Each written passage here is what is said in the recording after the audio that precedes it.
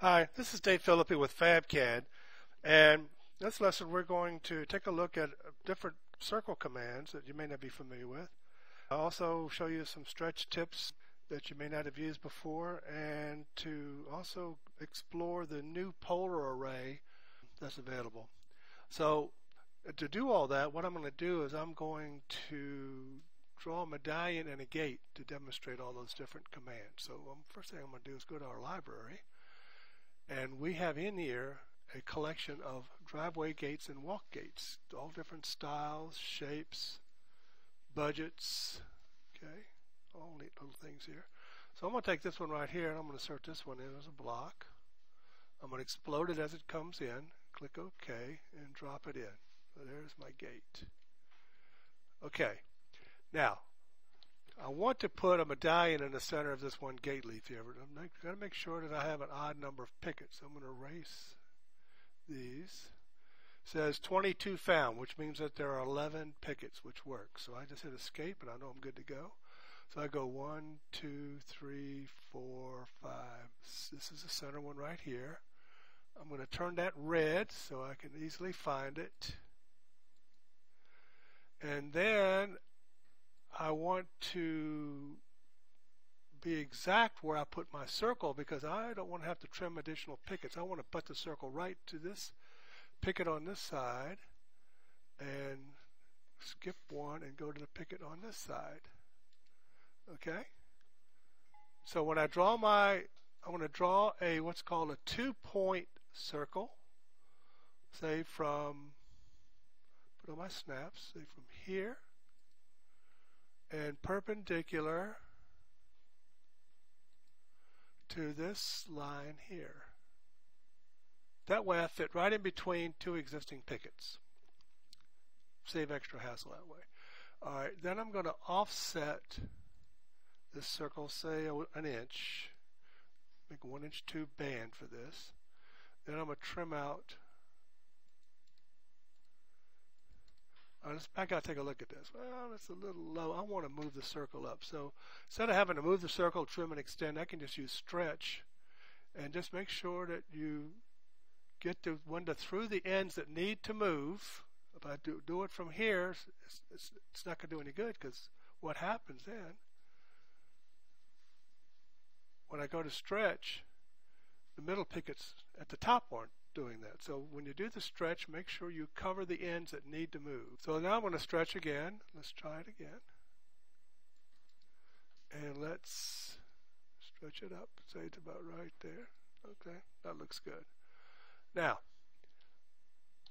you could use the old classic array and the polar array that's available here, but I want to show you some of the features of the new one, and it's fairly easy to use. Uh, so let's first of all get something to array in there. So I'm going to go up, back up here. I'm going to go to Lawler and I'm going to bring in actually a snap-on that works pretty good here. So, so I'm going to right click here, insert as block. I don't want to explode this one. So I'm going to click OK and bring it in as one piece and drop it in right there.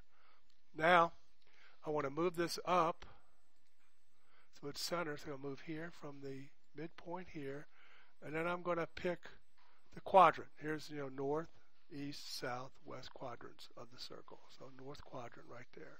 So that I know I'm dead center when I move it down. So move it down to right there. Okay. Now I'm going to go to the polar array that's here. And I'm going to select the objects. And in the center of the array, I want to pick the center of the circle. See it light up there? Okay, so it's already said 6. Let's see what 7 looks like. So what's nice, the pretty nice thing about this, it's pretty much dynamic. So that's 7. That looks good. So I'm going to close the array. What's cool about this is if I wanted to make a change to this one piece here, I don't have to go back and erase everything else and rearray it. It automatically will update other ones. I'll show you. So I'm going to go in here and click on this and I'm going to edit the source. You see the array ribbon pops up. I'm going to pick this piece right here and I'm going to explode this And watch what happens when I stretch the bottom of this.